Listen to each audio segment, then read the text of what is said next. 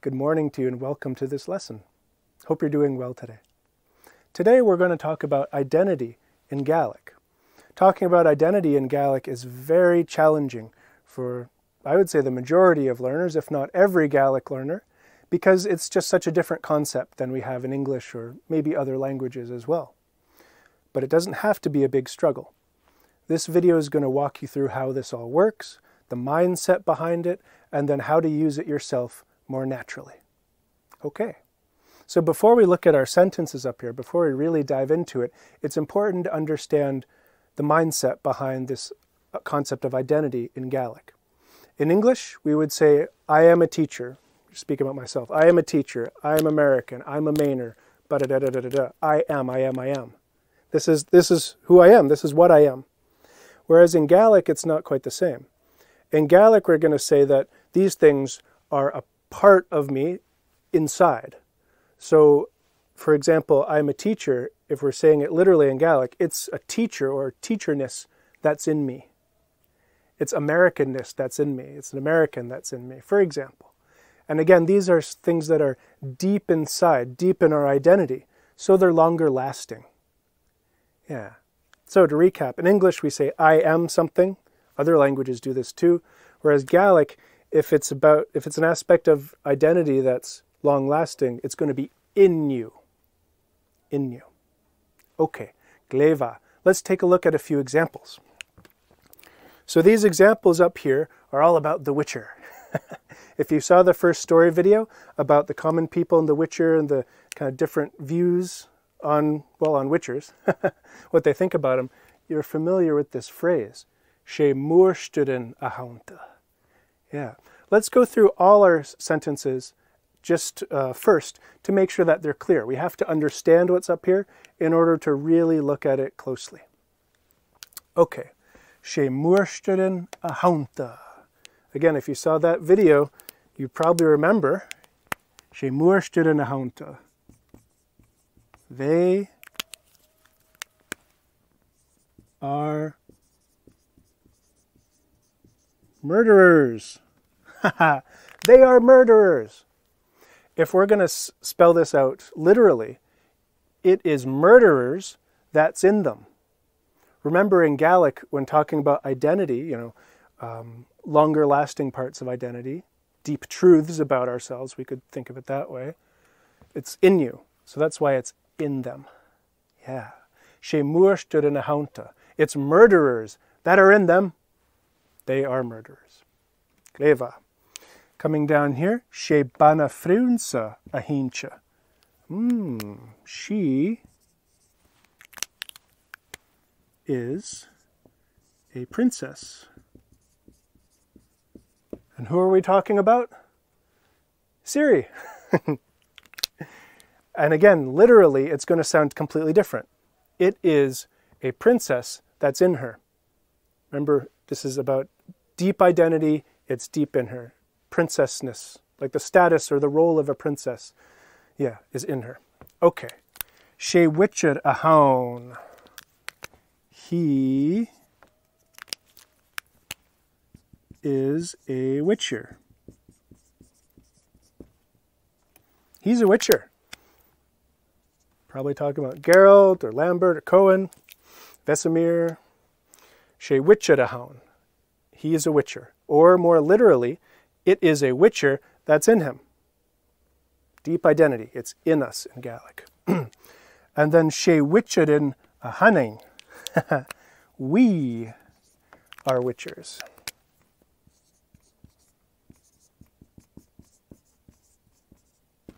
Mm-hmm. We are witchers, or more literally, it is witchers, or it are witch, it are witchers. No, it is witchers. It's witchers that are in us. Again, identity. It's in us. It's a part of us inside. Gleva. So, looking at these phrases, maybe you were expecting, well, he, like a, the letter e for him, the letter i, e for her, you know, us, sheen, but all of these look different, all of these endings. Why do they look different? Well, because, as we've been saying, identity is in you, it's, you know, a deep part of you. We're saying in them, in him, in her, in us. That's what these are here. so, taking a closer look, aunta is aun plus it. In plus them makes aunta. and it looks pretty different at first. However, these endings on the end, like anain, aunta, excuse me, the TA here, that's what I'm referring to. The TA on the end here, this ending here, like that. These are very consistent. So once you see these patterns, you'll start to be able to look at one of these and, and have a sense of what it already means. Yeah, it won't look so foreign because you'll know the, the ending on it. That's, that's for another time. So, again, in us, or in them, is aunta. Incha is aun plus e. In and her make incha. Aun, aun plus e. We don't have an e on the end, just aun. Aun, anain. This is aun plus shin. There we are. So this is one challenge uh, to talking about identity in Gaelic is knowing these phrases here, these specific ones for who we're talking about. And that takes some time, takes some practice. Mm-hmm. Okay, maha, gleva, she murstiden a haunta.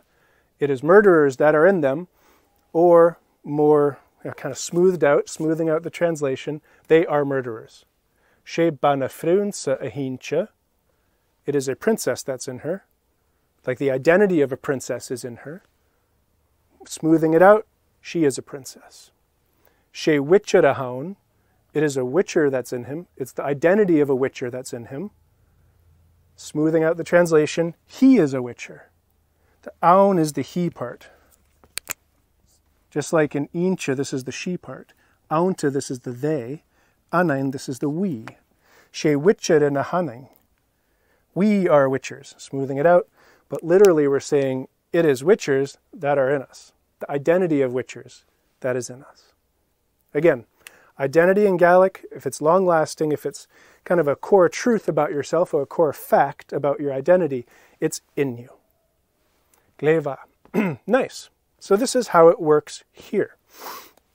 Now, what about if you want to ask someone, like, are you are you Scottish? Are you Irish? Are you American? Are you Canadian? That kind of thing. Are you a witcher? so, it's going to look very similar to this. So we're going to start off with the question, Anye, blank, a hunnet.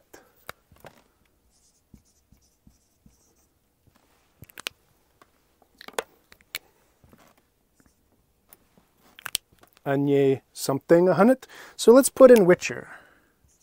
Are you a Witcher? Be pretty obvious from the eyes and the swords and the kind of just woo, intensity. Anye Witcher a hunnet. Are you a Witcher?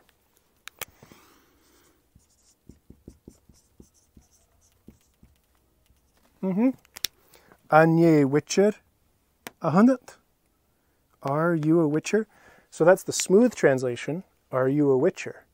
But if we go literally here, is it a witcher that's in you? Is the identity of a witcher in you? Yeah. Mm. Gleva. So we can we can toss in some of these other words. Anye murster, singular. Anye murster a hannet. Are you a murderer? Anye banafrunsa a hannet. Talking to Ciri and wait a minute. Wait a minute. The lion cub. Huh. Anye banafrunsa a hannet. Etc. Etc. so this here, unit, this is aun plus u. Mm-hmm. Aun plus u. Aun plus u make unit.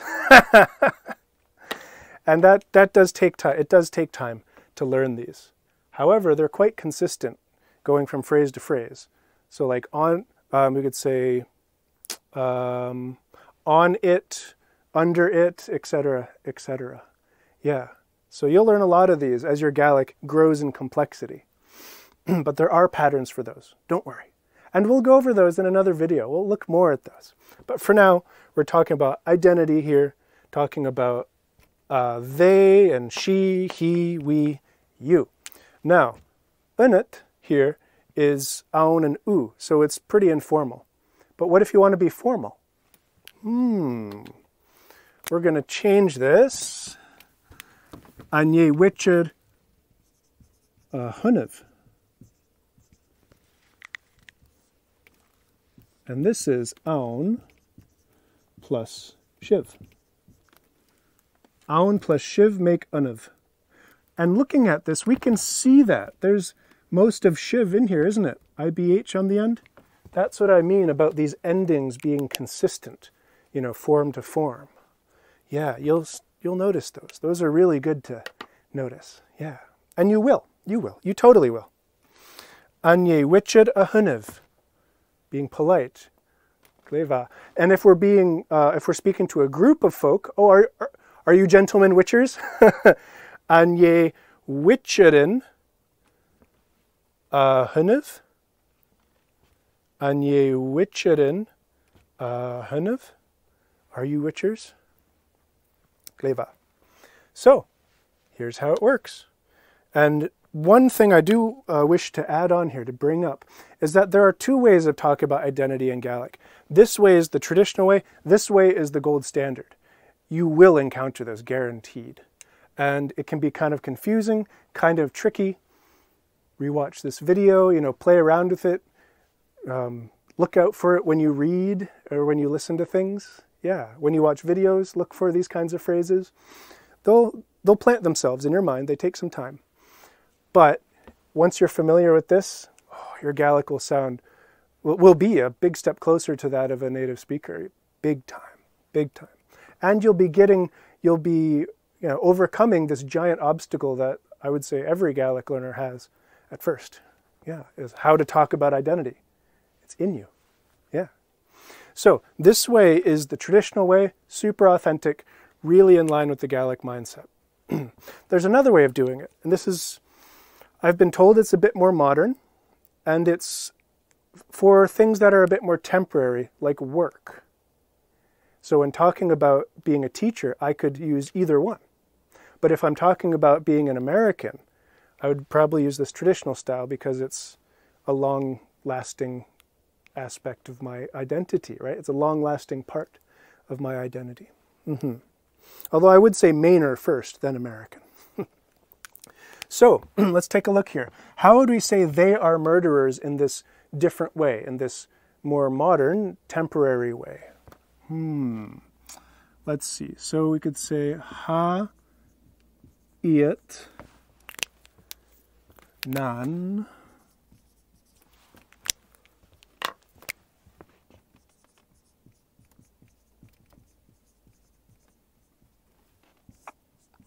Ha iet nan moersteren.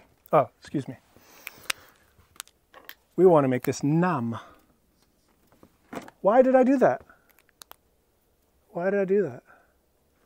Because moersteren starts with an M. B F M P.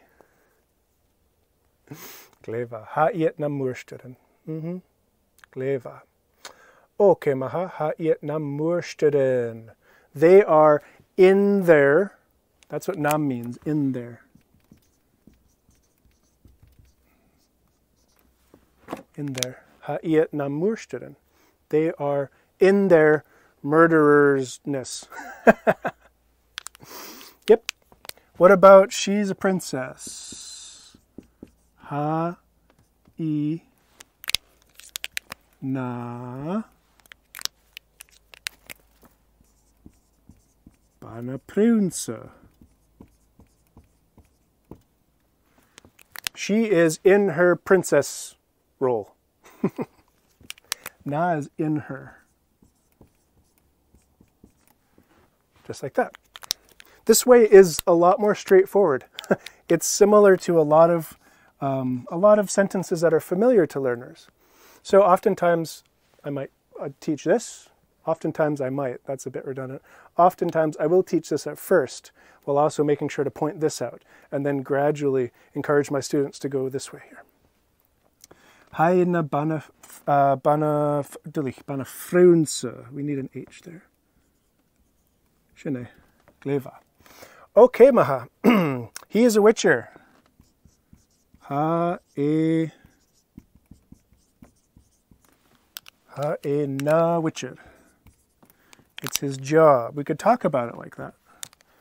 Although to be a witcher means you are permanently changed. So I wonder. I wonder. I think personally, I think it would make more sense to say She Wichitahan because they're mutants, right? They've changed. They cannot go back to being human at all if they survive the training at all. All right, She Wichitahanin. We are witchers. Ha Shin Nad. That means in R. Hashinar Witcherin.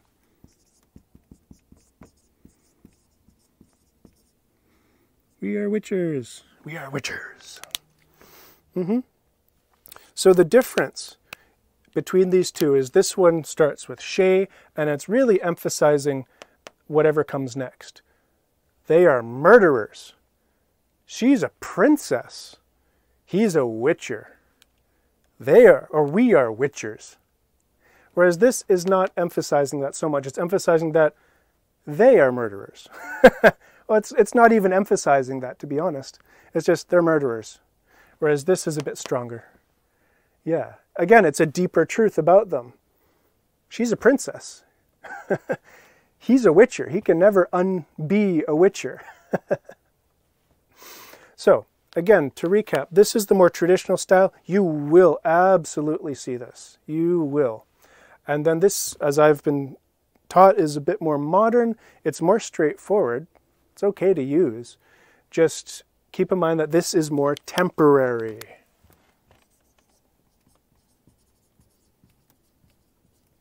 And an interesting point to all that is that people can change, um, well, people can change a lot of aspects of their identity these days uh, more easily. Um, for example, taking on citizenship of another country. You know, that's pretty easy to do to a degree. so I wonder if in the future, if this way, this more modern way, will be used for talking about identity in terms of nationality, things like that, because, you know, if I become, I don't know, if I become a Scottish citizen or a Swedish citizen or, you know, wherever, Finnish citizen, that'd be pretty cool. it would be pretty, my Americanness would be temporary. Interesting thought for the future. I'm not sure. It'd be, I could see it being used that way. However, as, as best I know right now, as best I understand right now, this is for temporary things really used for jobs. Whereas this, deeper truths about yourself, and it can be your job. If you have like a deep calling, if you have a deep passion, if you have a career, sure, use this. okay, and looking at these, there's one little phrase that has been left out. We need to be able to talk about ourselves. nice to talk about others and such, but what about I am? I am. Hmm, I think we have some space down here. Yeah. so, let's go with the traditional style first. She, I'm a witcher. She witcher, uh, Hanam. Oh, that's a bad N. Well, not a bad N, just a an unclear N. She witcher Hanam. I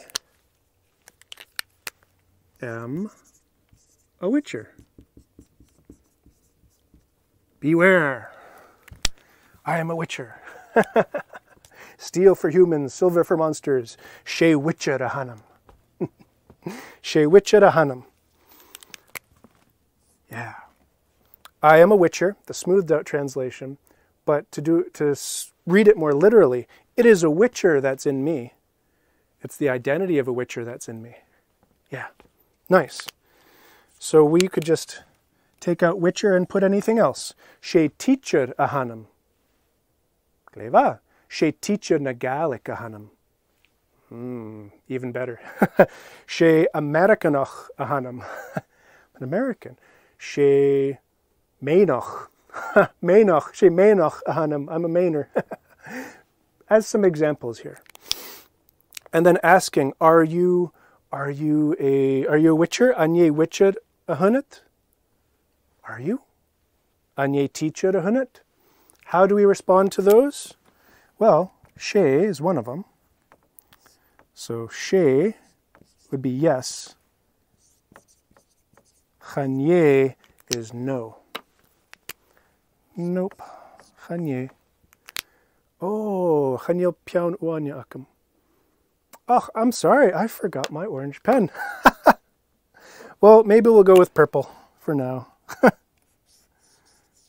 Leva. Ovov. Gleva. So if you're asking the question, anye, talking about someone's identity, just asking about it, anye witcherahunit, talking to Geralt maybe, anye witcherahunit, she. If they're not a witcher, chanye, chanye. And this gives you the negatives for all these. Yeah, they aren't murderers.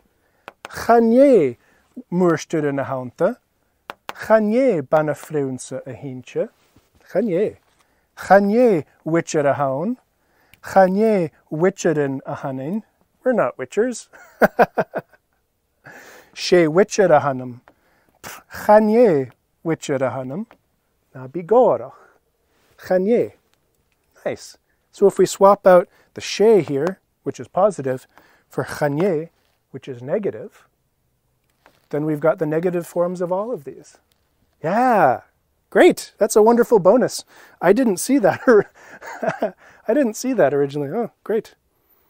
When I was mapping things out, I mean, yeah, I didn't see that when I was, you know, putting these sentences up. Very cool. Very cool to have little bonuses like that. Gleva. All right. So here's how to talk about yourself.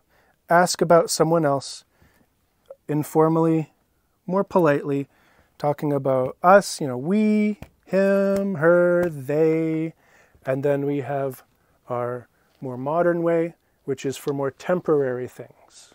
Yeah, nice. Um, would you would you like the more modern way for this one?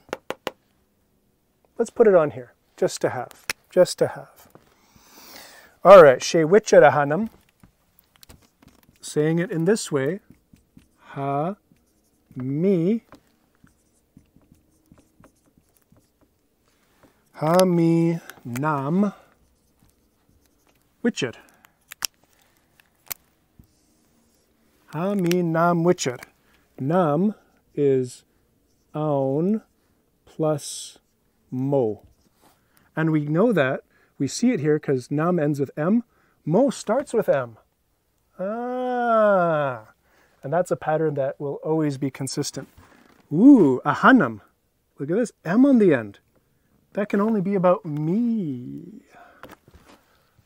Nice. Eva. Well, whew, there's a lot here. Talking about identity in Gaelic can be kind of crazy sometimes, frustrating, you know, mind bending, but it doesn't have to be. Here's how it all works remember that identity, if it's long lasting, if it's a, just a deep truth about you, is in you. That's right. Gleva. And here's how it all works. Here's how to talk about yourself, ask about others, and then respond. Respond when someone asks you, she for yes, chanye for no. Yeah. Gleva. All right.